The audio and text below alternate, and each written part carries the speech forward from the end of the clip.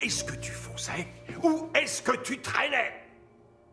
Réponds! Ce type, c'est Terence Fletcher, enseignant et chef d'orchestre à Schaeffer. Le jeune homme qui prend un soufflon, c'est Andrew Neyman, un batteur de jazz de 19 ans. Il vient d'intégrer le prestigieux conservatoire Schaeffer de New York, l'une des meilleures écoles de musique du pays. Aspirant à devenir le nouveau Buddy Rich, il est repéré par le très exigeant Terence Fletcher, enseignant et chef d'orchestre à Schaeffer. Sur ce court extrait que tu as vu à l'écran, il se fait gueuler dessus comme pas possible parce qu'il n'est pas dans les temps du tempo demandé par Fletcher. Alors, ce professeur insulte ses élèves, les humilie, les pousse dans leur retranchement et les plus faibles partent en dépression. Dans cette vidéo, nous allons voir pourquoi ce film est une référence et pourquoi tu dois absolument le voir si ce n'est pas déjà fait et comment le message transmis par ce long métrage va changer ta carrière.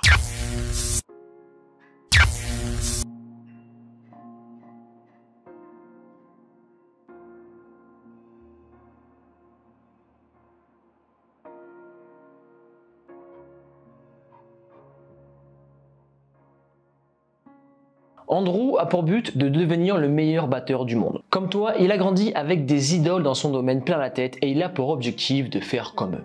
Il veut être le meilleur et pour ça, il va être servi avec un professeur très exigeant, Terence Fletcher.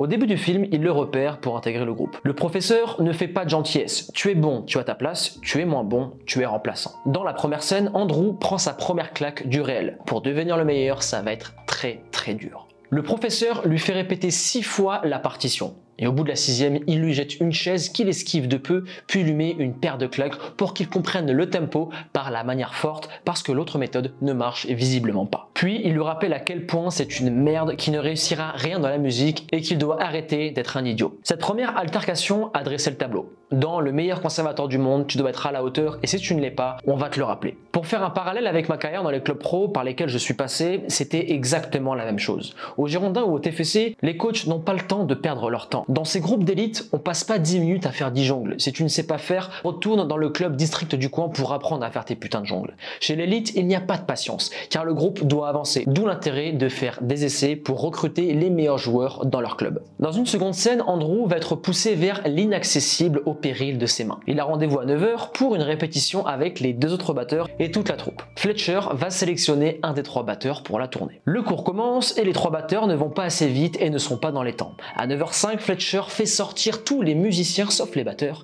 et quand un des trois sera dans les temps, le cours pourra reprendre. De 9h du matin jusqu'à 14h, il les a fait répéter pour que Andrew au final trouve le bon tempo. Les trois batteurs avaient les mains en sang et dégoulinés de sueur. Ça s'est joué au mental. Puis à 14h, le cours a repris. Andrew voulait tellement devenir le meilleur qu'il en a fait une obsession. Comme pour un joueur qui veut devenir professionnel, il a consacré tout son temps à la musique. Il répétait tous les soirs, mettait des pansements sur chacun de ses doigts à cause des frottements et allait parfois jusqu'à la folie en cassant son matériel. Il est tellement dédié à son art qu'il en a quitté sa copine. Alors, est-il trop extrême? Non, c'est un choix lucide au vu de la situation. Dans le film, Andrew explique à sa copine qu'il aura plus de temps pour elle car il veut devenir le meilleur et qu'elle va mal le prendre par la suite de moins le voir, puis l'emmerder avec ça et lui amener de la négativité, ce qui va empirer était dans sa progression. Sur le moment, il avait raison et peut-être que sur le temps long, il avait tort. Nous verrons ça par la suite. Puis Andrew continue ses cours jusqu'au jour où il plaque son professeur Fletcher au sol pour tenter de le frapper. Il était à bout.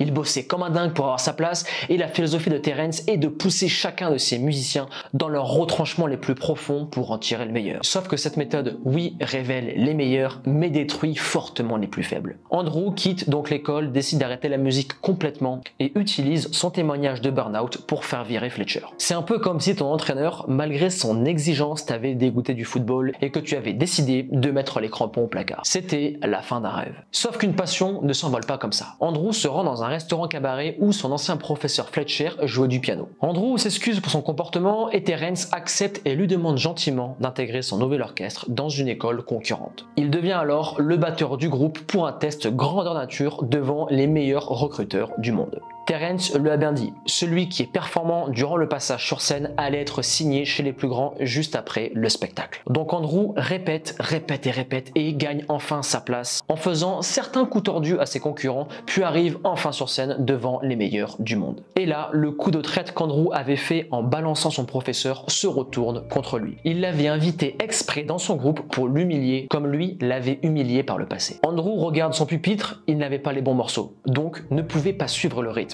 Et à la fin du passage, Fletcher arrive pour lui mettre le coup de massue. Pris de honte, il quitte la scène pour rejoindre son père aux coulisses. Mais Andrew a l'étoffe d'un futur grand. Après un court câlin avec son père, il retourne sur scène revanchard et emmène avec lui toute la troupe. Il met en place le morceau qu'il avait travaillé durant des semaines et Fletcher, agacé, décide quand même de suivre Andrew. Et durant les dix prochaines minutes, Andrew fait une masterclass. À la fin de la partition, Fletcher et lui sont en symbiose et ce moment pour lequel Andrew avait travaillé où il avait du sang les mains et de la sueur sur le front est enfin arrivé. Andrew est en transe sur sa batterie avec le regard fier de Fletcher. Ça avait enfin payé. Dans ce film, il y a trois parallèles à faire avec le football. Le premier, c'est l'exigence. L'exigence pour devenir un footballeur de haut niveau passe par beaucoup de souffrance. Le père de Thierry Henry ne souriait pas beaucoup et était vraiment très dur avec lui. Alors oui, les exigences de Fletcher sont dures. Certains me diront, oui, mais Antoine, dans le film, un jeune s'est suicidé à cause de Fletcher.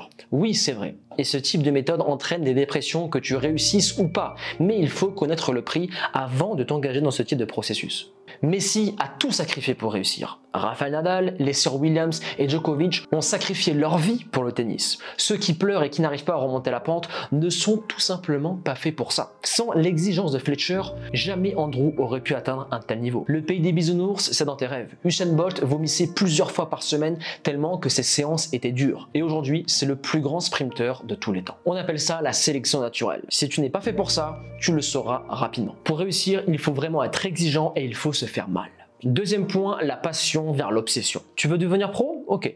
Sois prêt à tout sacrifier pour ça plus d'anniversaire parce que tu bosses, plus de sorties le soir parce que tu dois te reposer et consacrer beaucoup moins de temps pour les copines parce qu'il y a du pain sur la planche. Chaque match de ton joueur préféré, tu es devant. Un week-end sur deux, tu es au stade pour ressentir la passion et l'ambiance. Tu te cultives, tu les délivres et tu répètes tes gammes tous les jours. Troisième point, la dépression comme allié. La dépression est un sentiment que tu vas ressentir durant le processus. Tu seras tellement à fond que tu disjoncteras parfois parce que tu n'es pas toujours titulaire. Alors pas de panique, c'est normal. Quand tu te lances dans ce genre d'aventure, tu ne sais pas quand tu te feras recruter par un club pro, quand tu seras pro et quand tu auras des résultats vraiment concrets. Tu sais, tu peux bosser dans l'ombre pendant des années et avoir des résultats minimes, puis un beau jour exploser d'un coup. La méritocratie dans le sport, ça existe. Maintenant, si tu es un joueur qui a pour ambition de jouer au niveau et qui veut vraiment se mettre au boulot, j'ai un cadeau pour toi. En description, tu retrouveras le guide offert Futur Pro qui te permettra de passer à l'action dès maintenant. Maintenant, la team NE, dites-moi en commentaire si vous avez déjà vu ce film. Faites-moi vos retours et ceux qui n'ont pas vu, vous devez absolument foncer le voir. Je vous invite aussi à exploser les pouces bleus, abonnez-vous à la chaîne car du très gros contenu arrive dans les prochains jours. Persévérance et motivation et on avance ensemble.